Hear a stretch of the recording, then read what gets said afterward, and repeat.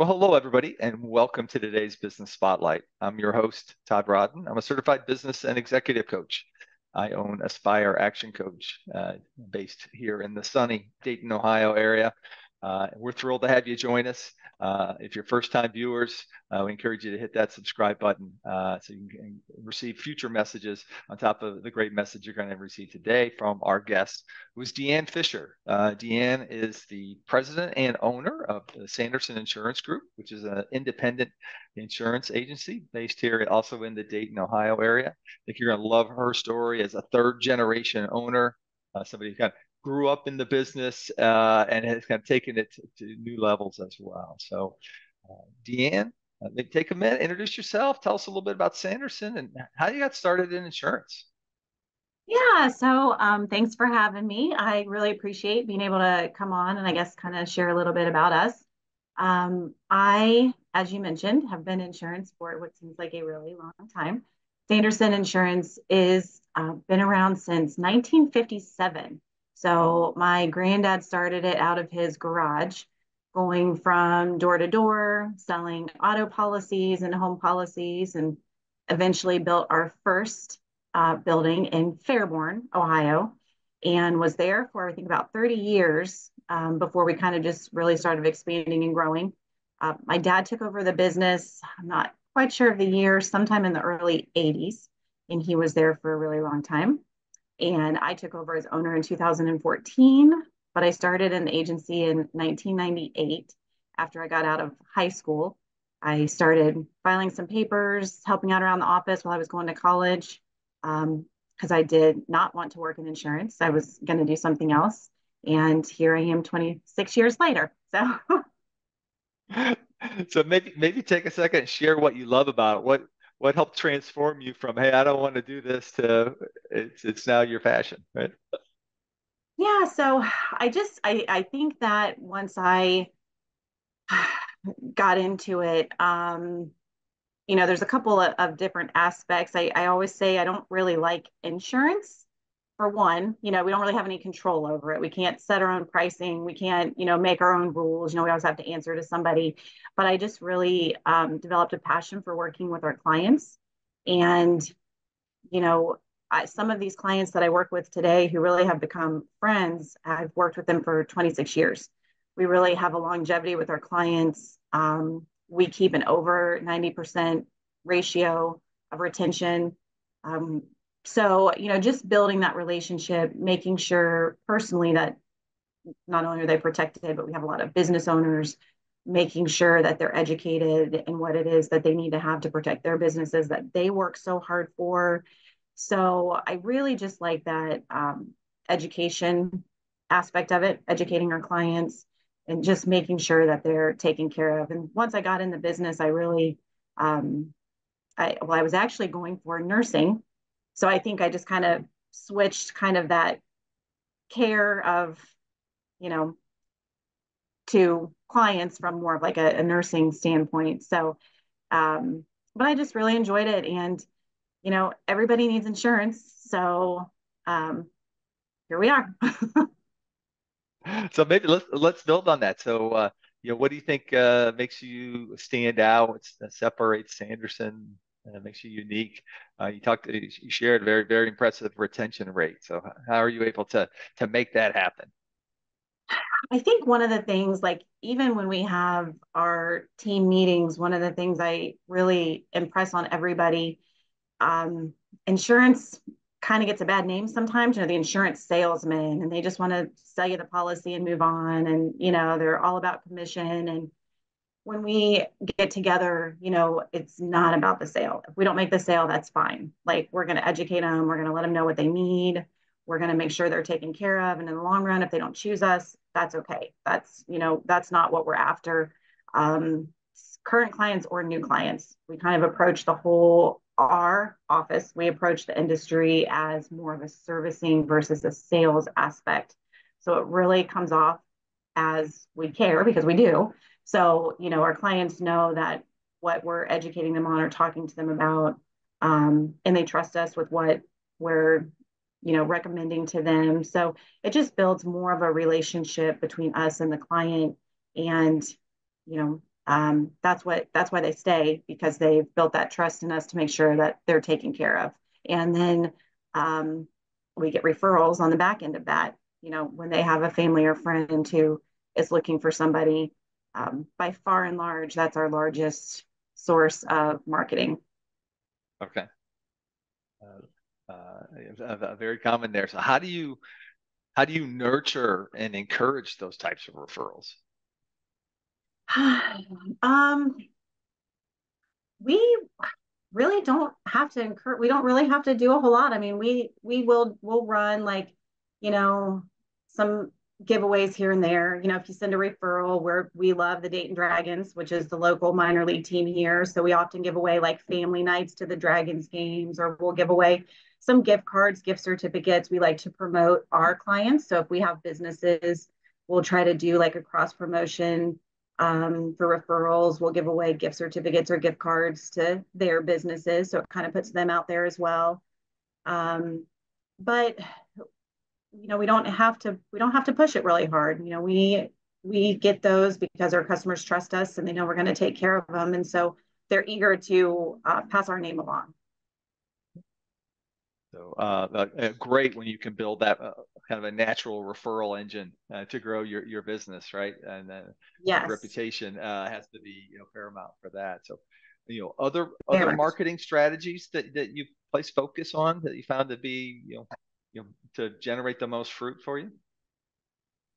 Um, probably secondly would be just you know networking, getting out there. We're involved in the community. We um, try to promote, you know, we're always sponsoring youth sports, school sports, wherever we can get involved in fundraising, different things like that. So we try to put ourselves out there in those types of areas as well. And then, of course, in return, you know, people end up hearing about us. Okay. Okay. So those traditional manners. So, so 25 years ish in uh, now. So sure you've seen a few twists and turns in the road, uh, right? A few mountains yes. to climb as well. So as you look back, what's been the biggest roadblock or two that you you had to overcome, and you know, what did you learn through those? really, probably. I don't know if we've had roadblocks. I don't do roadblocks, so but obstacles. Okay. um, you know, I have a sign in my office that says everything is figure outable. So we're going to usually try to find some way um, around it. But by far the largest, I guess, obstacle that I've gone through is probably more recently. Um, I mean, there's several over the years, obviously, but we've really hit a point where we're trying to grow and expand our footprint. So that's a completely different business model. So going from just a small local agency to trying to have multiple locations, um, that's really been a hurdle because again, you know, you really have to have a different kind of setup for that. So that's where we've been over the last probably two years. Um, we're still kind of in the midst of it. We're getting ready to open a third office. So um, that probably by far has been the biggest obstacle for me. So when you, as you kind of break that down, what that challenge of expansion like that, what would have been, you know, the the key you know new learnings there or skill sets or what you need to think differently about your team? I think the biggest challenge for me is trying to let go of some things. Um, I'm, I'm very ocd and i like to know what's going on with everything from the you know just the ownership to the hr to the managing to the sales to the bookkeeping to the accounting i mean you know i kind of have done all of it and it really getting to a point of like okay um, I can't do it all anymore. So, you know, trying to find the right fit for bringing additional people on, additional, um, you know, roles on, and managing separate locations when I can't be in, you know, multiple different places at one time. And so, really, I just think that the management aspect of that, of, of growing and having to bring on more people and have more locations has been the, the biggest obstacle for me. And I don't have an answer yet because we're still kind of in the midst of it. okay. but everything is figure outable, right? Correct. I love that. So, so maybe talk uh, that leads to your team. So talk through how your team has grown the last couple years, especially obviously with the you know adding locations. um, you know, some of the key skills on your team? Uh, maybe if there's roles or skills you're looking for. Uh, and... Yeah, so um, we have probably within our staff of 12 over 150 years of insurance experience. So we have quite a few agents that have been just in the industry like me um, a long time. I have um, there's a another girl in our office and she started two years before I did. So we've worked together for the past 25, 26 years. I have another agent in the office who started with Sanderson in the very beginning in that first Fairborn office. She moved on, worked in some other agencies, owned her own agency, and ultimately came back to Sanderson. So we just have a lot of long term staff, you know. So um, I think one of the one of the biggest things I guess that I'm proud of is that they are just kind of growing with the business. You know, we kind of started as this little office of a few people and we just keep growing. We've got some new agents that are new in the industry that have started just over the last two years. So we have a wide range. Um, I like that they're able to come in and learn from some of these experienced agents, and then hopefully that um, develops a career for them, rather that's with us, or they can take that and move on to do something else in the industry. So we really have a wide range of experience, but I think um, my biggest pride, I guess, of an owner is the longevity of our employees um, and the, the probably the closeness that we have. Um, we always call ourselves family. We care about each other inside of work and outside of work, but um, then we really have that support for each other as we kind of go through this uh, growth phase and trying to figure things out you mentioned, you know, kind of this mix. Hey, you've got some kind of longer tenured folks who bring a wealth of experience, but also some newer folks to the industry. You know, in particular in the job market of the last few years where it's been so tight difficult. How have you been able to win and kind of attracting uh, kind of uh, newer employees to the agency?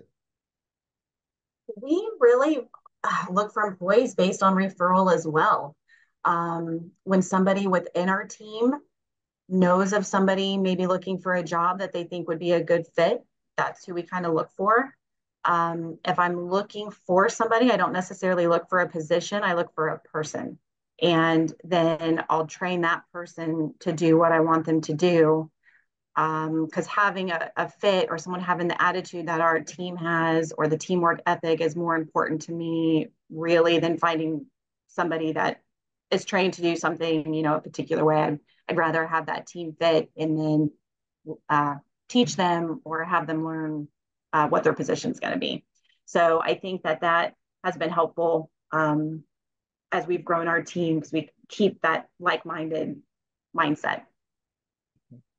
So, uh, you know, given that approach, right, and I'm, you know, that's what I hear from a lot of business owners now is, hey, you know, find the right person. They may not have the skills yet, but I've got to train them up and grow and develop them. Mm-hmm. So what have you had to put in place within the business uh, to kind of help with that that more nurturing uh, than maybe what had done 10, 15 um, years ago? I, yeah, I think it's kind of a split of two things. I mean, the industry itself has a lot of education available. So there's a, there's a lot of classes, different carriers. You know, we're an independent agency, so we represent multiple insurance carriers. Um, so all of those carriers will offer training and classes for their own products. There's industry training classes um, throughout the state. So there is a lot of places to turn to for education. Um, there's certifications that can be obtained. So I'm big on having our staff, um, whatever kind of direction they're going to go, um, obtaining some of those certifications and additional education and then, you know, on the backside of that, they're really just able to learn from those tenured agents, from the ones that have been here for a long time and just have bring a lot of experience to the table. They can just shadow within that, um, within that uh, learning environment and be able to just pick up some things that you can't always learn in the classroom. Okay. So it sounds like you're you're you're on a, a, really solid, strong growth path. You've you know you've added locations, you're adding your third now. What what's your vision down the road? You look three, five years down the road. What do you see for for Sanderson then? Um, I think really just my my reasoning for wanting to expand our footprint, um, as I kind of mentioned, and especially this this past year, everybody's been mad at insurance.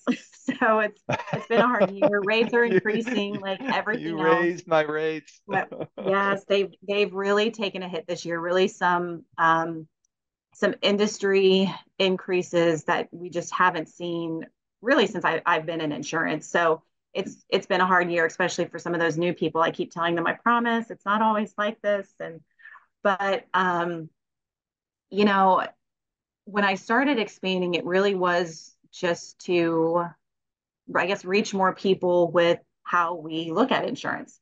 You know, people kind of look at insurance and like, I pay for this, I never use it. You know, they just kind of have a, a bad taste for it. And, um, you know, by growing and expanding and hopefully being able to reach more people, we just really want to pass on, you know, what our passion is, which is insurance, which is, you know, funny, but um, you know, we've really seen people who aren't protected properly be in some really bad situations and it's it's life altering. And if you've not been in that situation, you don't know that. Um, I'm sure if you're from the Dayton area, the tornado that came through in 2019, sure, sure. which hit Beavercreek, and that's where our office was at the time, and it was devastating. And people didn't have the right coverage, and they couldn't rebuild their homes, and they couldn't reopen their businesses, and um, businesses had to close and you know people were out of their homes and didn't know what they were going to do. So when you see that happen and it was simply because somebody was just trying to find the cheapest price they could give or somebody was trying to sell them the cheapest price they could and not truly care about you know what the outcome was if they really needed something um, you know i hate to hear those stories. So you know, the more that we can educate and reach people and let them know what's available and how they can really protect themselves, that's what's important. And so that's what I'd like to see as we kind of grow and expand our footprint is just being able to put more education out there.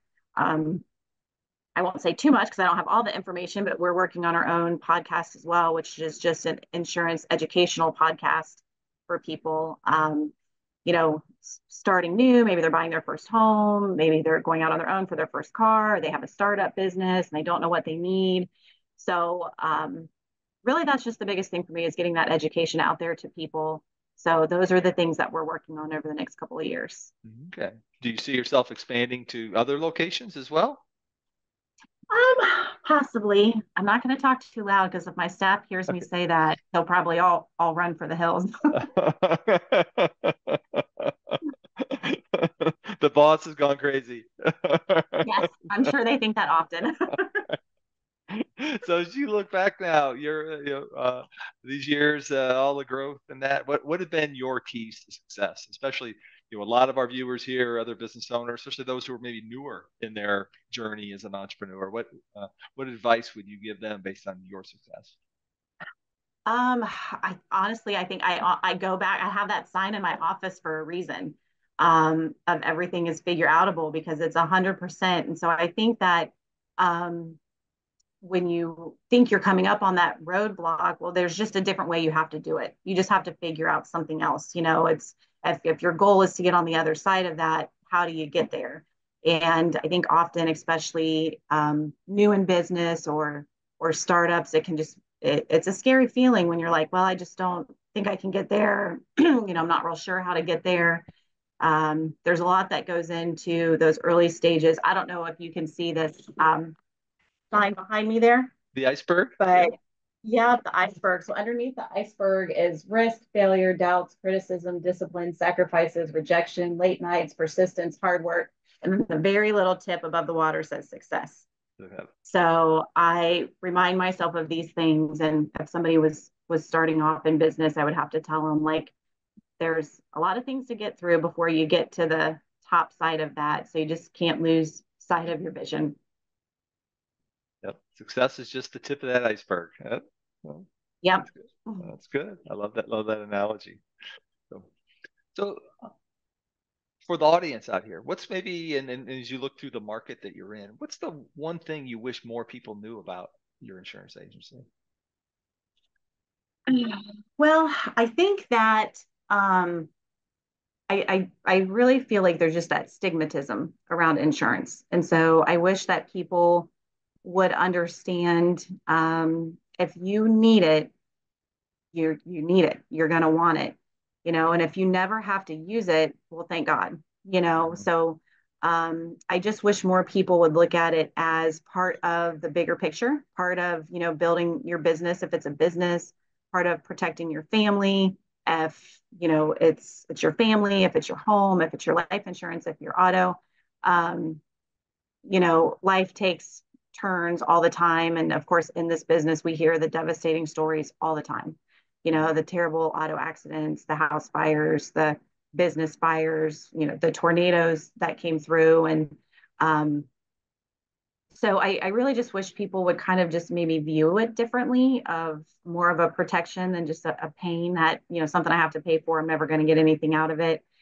And, um, you know, not always it, it's hard in today's um, today's world because things are expensive, but really not always look at you know what can i get for the cheapest because you're probably not getting the right protection if you're just looking for like cheapest bottom dollar you know i i, I don't want to pay anything for it um, but again that's hard you know when everybody's pockets are tight so yeah. but yeah i just um, i think that's the biggest thing is just kind of think of it differently and more of a, a protection for your family and your business as you know something that you just got to pay for yeah hey that that pain of that slight increase now is minuscule compared to what that pain would be if you had a catastrophic event, right? Right. And you, you weren't covered, right? Hundred percent. Yeah, exactly. So you mentioned, hey, looking at uh, or starting a podcast. So are there podcasts or uh, or authors or books that you follow that have helped you uh, stay sharp? Um, not yet. It's definitely a work in progress. I've got um I've got the equipment, I've got the ideas, I've got the episodes set up. It's it's figuring out how to put all those things together.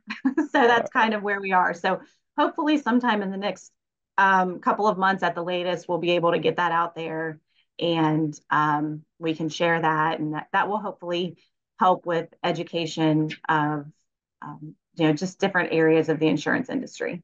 Okay. So as we look to, to wrap up here today, what, what are the best ways for folks to either connect with you or to follow and connect with Sanderson Insurance? Yeah. Um, so um, obviously our website, which is sandersonagency.com. We are also on Facebook. I mean, everything's just under Sanderson Insurance. We're on Facebook, we're on TikTok, Instagram, LinkedIn, Twitter. So you can kind of pretty much find us anywhere. Okay. Uh, you'll be more entertained if you follow us on TikTok. we like okay. to have fun and post some office dances every once in a while. But um, there's information on our website about our carriers that we represent, about our team members, the products that we have. Um, one of the, like I said, one of the biggest things we preach is we're always willing to sit down with anybody and just kind of take a look at their portfolio, either personally or commercially, with no strings attached, and just kind of guide them on um, what are the protections that they should be looking for. Okay. Well, great there. So uh, lots of ways to follow and connect. Folks are going to be running to go check out the the team dancing on TikTok yeah. uh, as as well. Uh, so as we wrap here today, uh, Deanne, what are you inspired by today? Um, really, I think you know uh, on a on a business podcast, I'm really inspired by any other business owner. I mean, I know the the long hours and the hard work that it takes, all of these things that are, you know, under that success mountain and um, you know, anybody who's putting in that effort every day and and they're trying to do something for themselves and their family and you know, taking care of other employees or whatever their business might be, it's it's not easy. So I'm really anybody who does that um, inspires me. Yep yeah, definitely uh, garner all of our respect, right? Uh, there's so yes. much, there's so much below the water that folks not in yes. it don't see, right? yes. So I think it, and having something like this is so nice because um, unless you're under that water with somebody else, you know, it's hard to to understand, you know, what each other's going through. But being in that same um, that same world, it's nice to have that support system. So, Deanne Fisher, thank you uh, for joining us today and sharing your story. Uh, third generation of Sanderson Insurance, and you taking it really to you know, next levels and, and multiple new locations. So a lot of great things ahead, I'm sure. Yes. Yep. Thank you so much. Thanks for having me. And um, I really appreciate it. All right. And to our viewers, again, encourage you to go out and you know follow uh, Deanne and uh, the uh, Sanderson team really through all those social channels, especially TikTok now. Uh, see the, the, the dance as well. And again, for our viewers, uh, we encourage you to please uh, not only like this episode, but check out some of the others uh, in our series and go ahead and hit the subscribe button so you'll receive regular updates and messages uh, like the great one you received from Deanne today. So with that, thank you for joining us and hope you all have a terrific day. Great. Thank you.